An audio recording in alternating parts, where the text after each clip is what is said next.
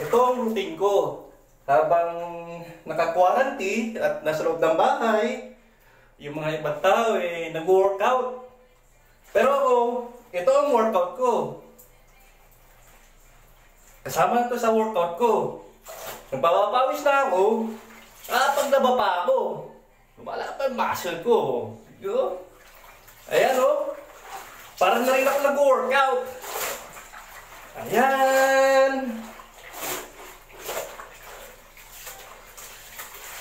Yan. Yan.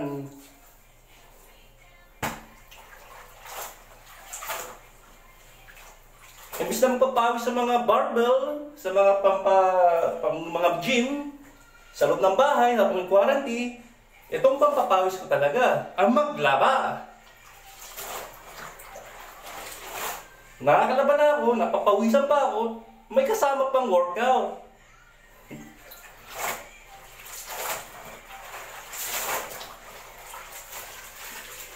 Ayan.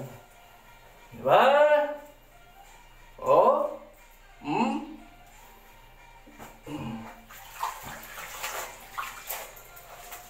Mapawisan na ako. Mapaglaba pa ako ng mga damit ko. Ayan. Ito ang pagpapawis ko. So, hanggang sa muli. Bye-bye!